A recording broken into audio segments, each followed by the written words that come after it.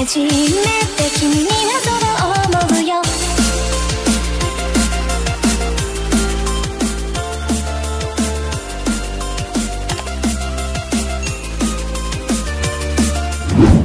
So oke bismillahirrahmanirrahim Assalamualaikum warahmatullahi wabarakatuh Halo semuanya balik lagi dengan gua Nanda So oke guys jadi hari ini selamat datang kembali di channel gua Nandaku Arts Dan kita kedatangan sebuah game baru yaitu Summoners War ya Corniceless. Ya mungkin kayak gitu bacanya ya Kalau salah koleksi guys. Oke jadi, jadi pada video kali ini kita akan nge-review salah satu game baru Yang udah gua pernah register kemarin juga. Jadi ini gamenya dan ini gue cukup lumayan telat ya. Udah sekitar tiga harian ini game rilis Kayaknya ya dari sekarang nih tanggal 12 Maretan cuy. Jadi ya mohon maaf ya guys. Seperti biasa gue pasti telat cuy Cuma nggak apa-apa di sini ada dua server Asia. Ini gue sebenarnya bingung ya kayak gimana ya. Yang mana yang atas atau yang bawah nih cuy Waduh gue klik yang bawah cuy Bawah. Oke ya udah lah ya guys. Tapi sebelum mulai seperti biasa Gue butuh dukungannya dari kalian Buat klik like, komen, dan juga subscribe. Dan terima kasih buat kalian yang sudah bantu support. Kita akan langsung ke inti game lainnya saja. Oke let's go cuy Oke, jadi yang pertama di sini kalian bisa lihat di sini dia pakai subtitle bahasa Indonesia dan dengan grafik animasinya ini cukup lumayan, ba- lumayan bagus ya. Kita akan coba cek di suaranya.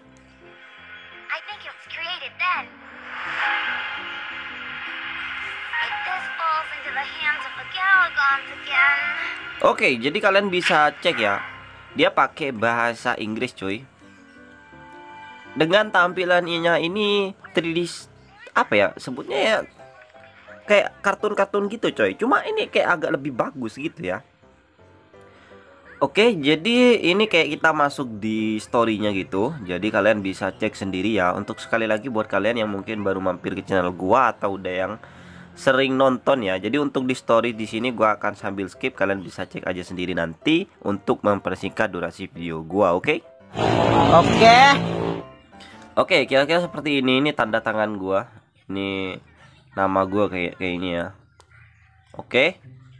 Ini kayaknya kalau kita ngikutin eh, story-nya bagus ya. Cuma ya seperti yang gue bilang tadi. Oke?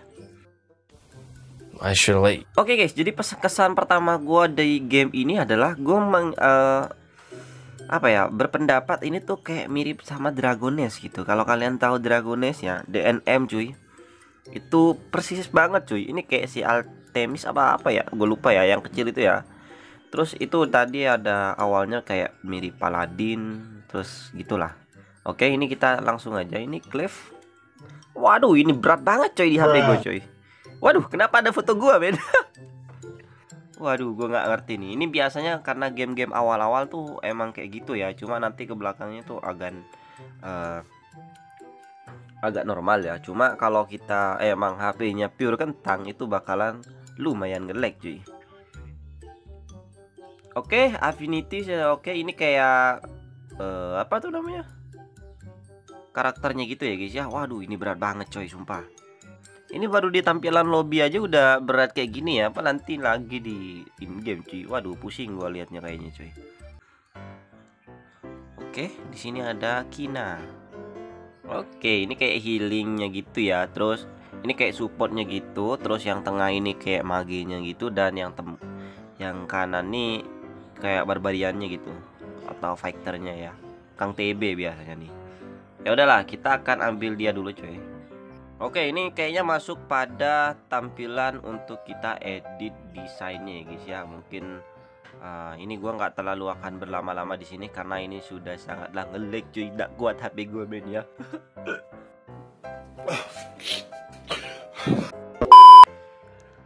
Oke, kita masuk di tampilan awal ini udah gue bikin ini kayak ada animasi gerak-geraknya gitu coy. Waduh ini coy sumpah berat banget gue nggak ngerti ya. Apakah yang pertama karena gue sambil record atau emang HP gue kentang cuma kayaknya karena HP gue kentang coy jadi HP-nya tidak mampu untuk bertahan coy Oh my god. oke oke kita masuk di instastory by the way kalau di instastory ini sangatlah lancar banget ya guys ya. Jadi kalian tidak perlu khawatir cuy. Cuma yang gue khawatirkan adalah buat kalian yang spek HP-nya tuh mid range ke bawah gitu ya atau menengah ke bawah gitu. Ini gua saranin nih kalian harus mampu bertahan kalau pengen cobain game cuy. Oke, kita akan langsung lewatin aja. Iya, ini mirip Dragones, cuma dia versi lebih bagus gitu ya. Waduh, gila cuy. Ini kayaknya gua harus turunin resolusi dah. Oke. Wah, gila coy. Keren banget ya. Cuma gua heran ini kenapa berat banget gitu ya.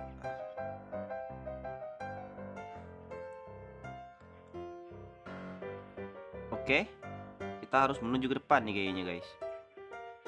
Aduh. Datang bertahan. Waduh, kita ini kayaknya dalam posisi perang gitu ya. Aduh, ya di kayak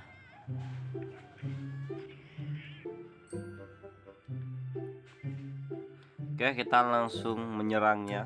Ini kayak kita bantu tolongin ya. Hmm. Ya, jadi di setiap story storynya tuh kita harus kayak klik-klik juga ya. Cuma kalau kalian pengen skip bisa langsung di skip ya. Langsung ke inti penyerangannya aja cuy. Kayak gini contohnya. Nah, wih Anjay, langsung bubar dia ya. Waduh coy coy. Ini ntar gue akan sambil ubah ke grafik yang paling tinggi ya. Biar makin nge-lag nih coy. Oke, ini questnya kita langsung tanya aja kita harus ngapain. Aku berikan informasi aku melihara scroll oke.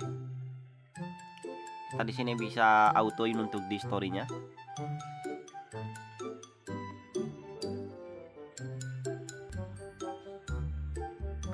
Kita jalan ke depan.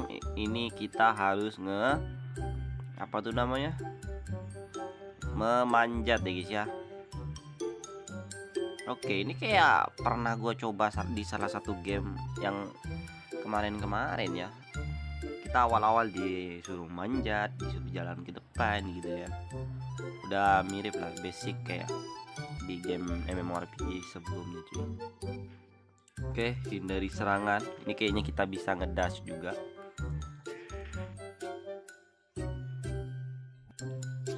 Oke, jalan ke depan di sini sebenarnya ada logo ini nih.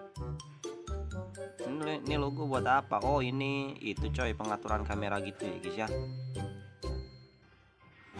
Oke, summon monster untuk bertarung bersama. Wah, yuk. Gila, datang monster coy. Dari langit ya.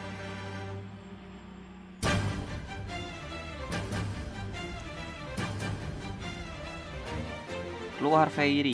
Oh ini kayaknya perinya gitu ya. Ini pasti kita nanti palingan disuruh gacha-gacha atau kayak gimana sih gunakan skill monster. Soling.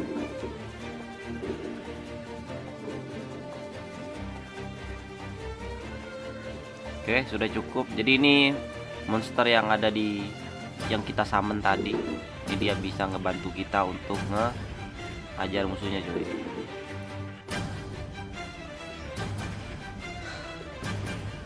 Hmm, oke kita udah skill-skill coba seperti itu ya.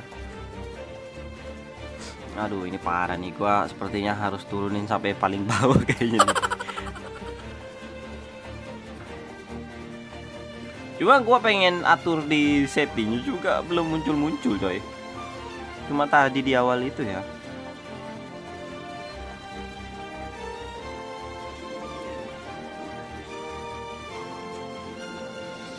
Obor kuno kita nyalain. Ntar di tombol apa coba oke kita cek di pengaturan dulu ya guys ya. Ini kayaknya kita harus turunin resolusinya nih coy karena gue sudah tidak sanggup. Oke. Nah ini lebih lancar coy gue pilih setting 720 untuk resolusinya terus di kualitas yang sedang nih ini coba kita bikin minggu lag gak nih gua oh kagak ngelag cuy ntar gua setting A few moments later. Oke di sini ini udah gua atur ya meskipun nggak terlalu separah-parah tadi cuy.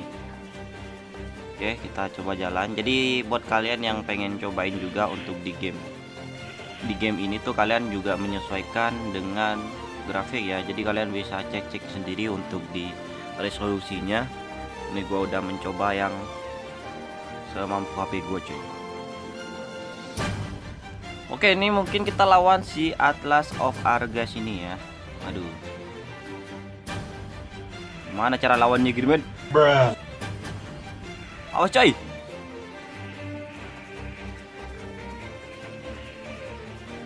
Balik coy. Kurbin. Waduh, gak kelihatan nih coy.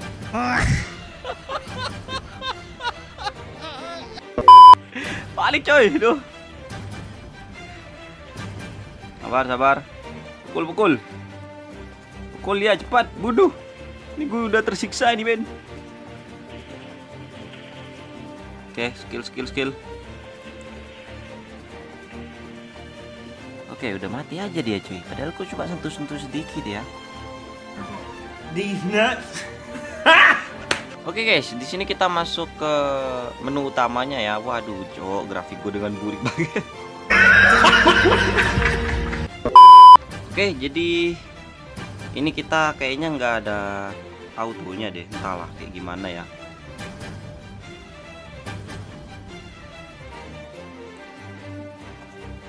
Cuma di sini auto hit nih kayaknya muncul. Cuma kalau auto jalan ke questnya gua nggak tahu yang mana cuy. Jadi seperti biasa cuy ini nanti bakalan lanjut pada uh, quest-questnya gitu. Cuma di sini gua akan tampilkan sedikit dulu. Jadi untuk di fiturnya ini ini di sebelah kiri banyak sekali fitur-fitur yang bisa kita kebuka. Cuma karena memakan cuma kita masih butuhkan level dan juga itu memakan waktu yang cukup lumayan lama ya. Jadi gua hanya singkat seperti ini aja untuk yang ada di beberapa fitur. Di sini ada di lemari. Ini kayaknya kita bisa pakai beberapa skin yang bagus gitu ya. Mungkin kita nanti bisa top up gacha atau seperti apa pun itu. Juga di sini ada beberapa skill yang udah kita coba tadi coy. Ada skill elementalis ada skill elemen elemen pasif dan seperti yang lainnya ya. Mungkin nanti kayak ada job dan kelas dan lain-lain gitu cuy ada rankingnya juga nih. Pasti nih nanti kita bisa ranking kayak di arena gitu ya karena di sini ada arena kemudian di sana guild dan lain-lain nih guys ya yang bisa kalian cobain juga. Nah, kita bisa cek beberapa event dan berita di sini. Oh ini juga ada peta dunianya ya jadi kayaknya lu cukup lumayan sangat luas. Oh ini ada mode sleepnya juga ya guys ya. Dan lain-lain cuy ini ada beberapa achievement dari akun kita juga ya. Ini kita ambil hadiah untuk apa ini cuy? Hadiah dari umum gitu coy oke palingan itu aja dari gua. Jadi, jadi palingan itu aja dari gua. Dan menurut gua sih uh, ini kayaknya gamenya sangatlah bagus sekali ya. Cuma karena device gue kurang mendukung jadi dari hasil likotan tadi juga di gameplay gue agak lumayan ancur-ancuran. Cuma nggak apa-apa sekilas ya. Jadi ini juga sebagai gambaran buat kalian yang mungkin HP-nya nggak terlalu bagus kalian bisa jangan coba. Cuma nggak maksudnya uh, bisa cobain sendiri lah ya untuk sensasi mengelek jamin Oke, jadi palingan itu aja seperti yang gue cobain untuk di game Chronicles Summoners War ini. Dan sisanya kalian bisa cek sendiri ya guys ya. Dan oke okay lah sampai di sini dulu untuk video kali ini. Terima kasih buat kalian yang sudah nonton sampai habis. Gue sangat respect banget. Dan mungkin untuk yang terakhir gue butuh butuh dukungan dari kalian buat klik like, komen dan juga subscribe. Terima kasih buat kalian yang sudah bantu support dan nonton gue sampai habis sampai detik ini. Kita akan ketemu di next video konten selanjutnya. Sampai jumpa di video selanjutnya. Keep respect and stay cool and see ya. Bye bye. Wassalamualaikum warahmatullahi wabarakatuh.